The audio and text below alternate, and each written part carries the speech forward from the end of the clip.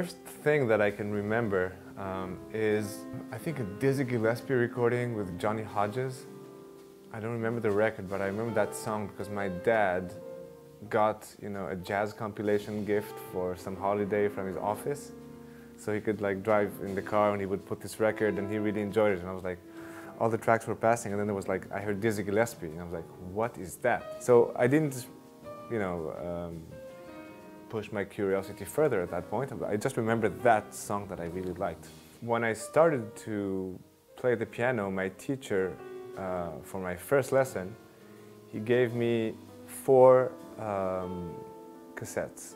Three of them were of Keith Jarrett, uh, and one of them was of Bill Evans, and one solo tribute where he plays standards in solo.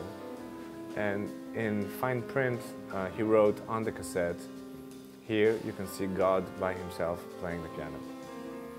So he was not objective, obviously. He's trying to lead me somewhere, I felt.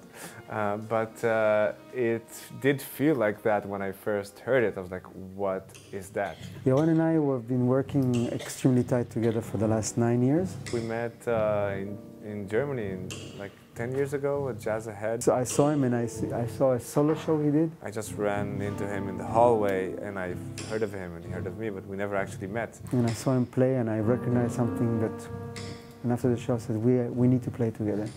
I see what's happening here. Um, this is, this is going to be special. So we, you know, he's like my musical brother. He's a, a very important human in my life. The first show is uh, with the GECA, which is a chamber orchestra from Geneva.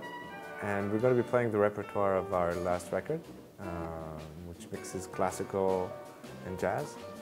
Um, so the orchestra will be playing a Baroque repertoire mostly, the Ravel Concerto, and in between there are pieces that mix jazz and, uh, and uh, classical, mostly Baroque, uh, Lully, Rameau, Purcell, and one contemporary tune, um, piece by Ives, called The Unanswered Question.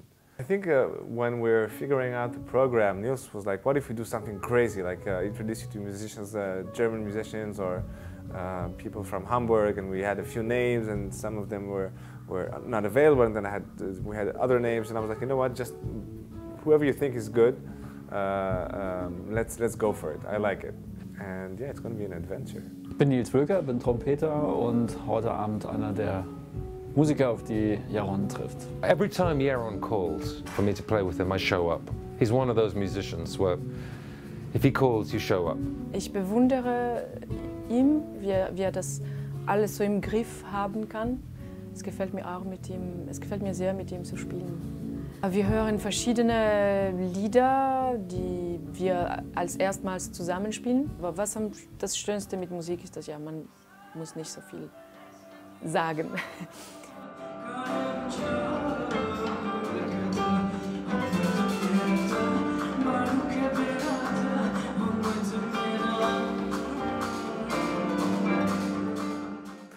Wow, my first impression was uh, I was kind of you know blown away by the architecture, and I just got to, to try the piano in the big hall, and it's probably the best acoustics I've, I've, I've seen in a concert hall. Makes you want to stay there and just play all the time.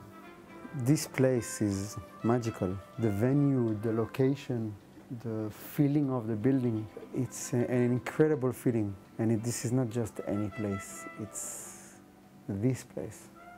With this hall, with these pianos, with this uh, spirit, with these people. My first time here, I've heard a lot about this place. It's got an incredibly good reputation, so I, I wanted to put that on my list of places that I've played. And you know, it's I think it's one of the most impressive concert halls I've ever seen in the world.